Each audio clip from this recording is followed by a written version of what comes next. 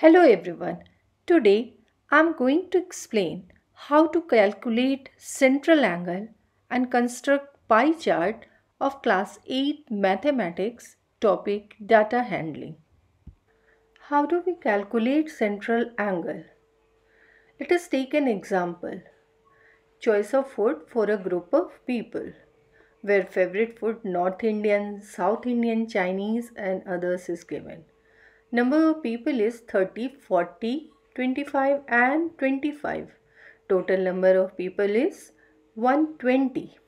We calculate central angle that is number of people into 360 which is sum of angles at a point divided by 120. 120 is total frequency equals to 30 into 3 that is 90 if you see the fraction 360 by 120 it is 3 that means we have to multiply by 3 all values. 25 into 3 is 75 if you reduce once and find out the value you will get 3 always. So 25 into 3 again 75 degree.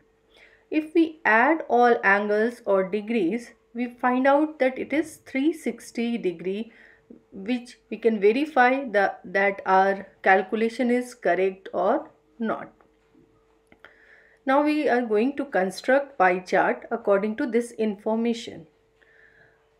We take a point O, take, draw a circle of required radius according to your copy size. Here I have taken 7 centimeter. Now we draw OA a is a point on circumference, OA is radius of circle. So angle COA is 90 degree. We have seen that first value is North Indian people and central angle is 90 degree. Now we draw 120 degree. Putting protractor on OA, we mark 120 degree and extend the line till circumference. So angle COD is 120 degree.